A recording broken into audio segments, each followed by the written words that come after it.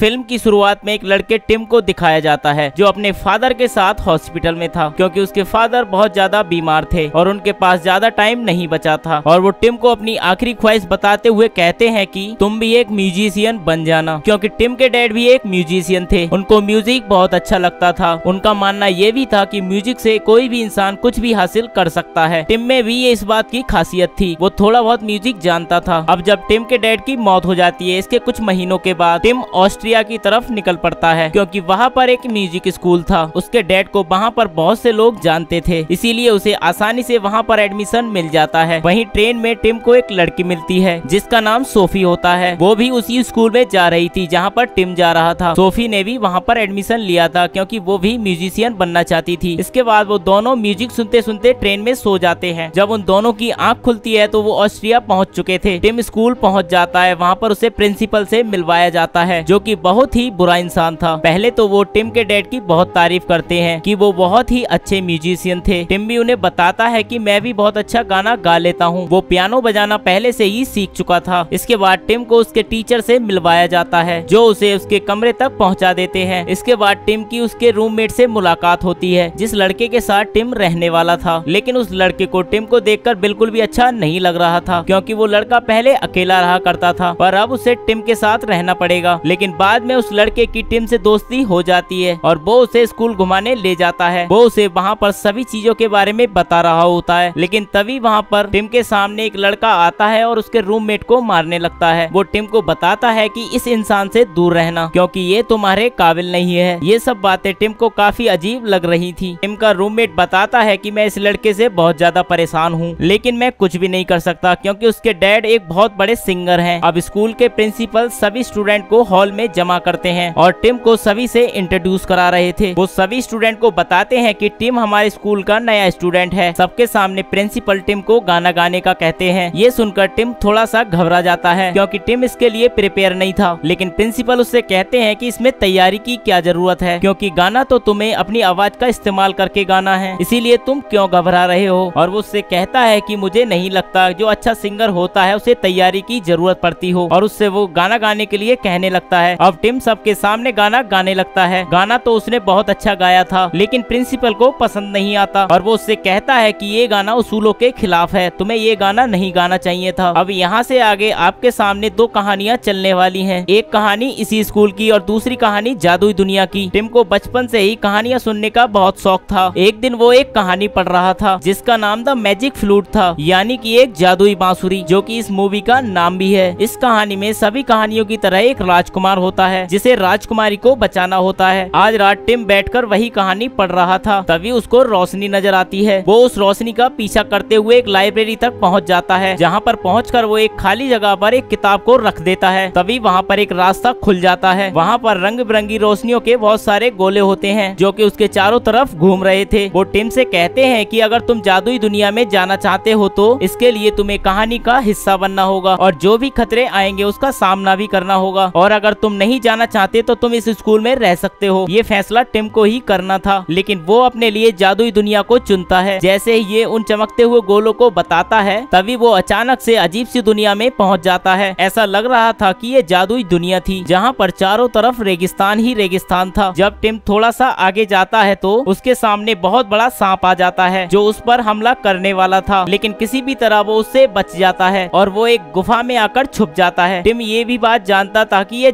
जादुई दुनिया है और इस कहानी में म्यूज़िक का भी ज़िक्र होता है और वो उस सांप को भगाने के लिए गाना गाने लगता है। लेकिन उस सांप पर उसके गाने का कोई भी असर नहीं होता। इसके बाद टिम उस गुफा से निकलकर भागने लगता है, लेकिन तभी उसका पाँव फिसल जाता है। वो गिर कर वहीं पर बेहोश हो जाता है। इसके बाद वहाँ पर तीन जादूगरनियाँ आ जाती है, जिन्होंने उस सांप को अपने जादू से सुला दिया था। लेकिन टिम भी अब इस कहानी का हिस्सा बन चुका था, इसलिए वो जादूगरनियाँ उसे अपने साथ ले जा रही थी। थोड़ी दूर पहुँचने के बाद वो टिम को छोड़ देती है। तभी वहाँ पर एक आदमी आ जाता है, जो की वहाँ के राजा के लिए पक्षियों को पकड़ता था। टिम जब होश में आता है और उस आदमी को देखता है तो उसे ये लग रहा था, शायद उसने उसकी जान को बचाया है। लेकिन पक्षी पकड़ने वाला आदमी टिम को समझता है कि वो एक राजकुमार है। अब टिम उस आदमी से पूछता है कि, तुमने मेरी जान बचाई है? लेकिन वो उससे झूठ कह देता है कि, उसी ने उसकी जान बचाई है और मैंने ही उस सांप को अपने जादू से सुला दिया। और इसके बदले में वो उससे इनाम की फरमाइश करने लगता है। लेकिन जादूगरनिया जब ये सुनती है कि टिम एक राजकुमार है, तभी वो वहाँ पर वापस वापस आ जाती हैं और वो उससे कहती हैं कि हम आपका इंतज़ार वर्षों से कर रहे हैं और वो उससे कहती हैं, अब आपको हमारी रानी से मिलना पड़ेगा। लेकिन पक्षियों को पकड़ने वाला आदमी बार बार बोले जा रहा था। इसीलिए जादूगरनियाँ अपने जादू का इस्तेमाल करके उसकी ज़ुबान को बंद कर देती हैं। इसके बाद वो अपनी रानी की शकल दिखाकर टिम और उस आदमी को अपने साथ ले जाती हैं। यहाँ पर आने के बाद टिम को पता चलता है कि रानी भी एक जादूगरनी है। उसकी बेटी को एक बुरा इंसान उठाकर ले गया था, जो कि इस शहर के राजा का सिपाही होता है। वो टिम से मदद मांगती है और कहती है कि तुम एक राजकुमार हो। इसीलिए तुम्हें मेरी मदद करनी होगी। तुम्हें जाकर मेरी बेटी को उस इंसान से वापस लेकर आना होगा। अब ये सब सुनने के बाद टिम भी हाँ कर देता है। वहाँ जाने के लिए तैयार हो जाता है। इस सफ़र में उसका साथी उस पक्षी पकड़ने वाले आदमी को बना दिया गया था। तीन जादूगरनियाँ टिम को एक म्यूज़िक बॉक्स देती हैं और एक जादुई बांसुरी भी देती हैं। वो टिम को बताती है कि ये सारी चीज़ें उसकी सफ़र में मदद करेंगी। अब टिम को उस इंसान तक पहुँचना था, जिसे रानी की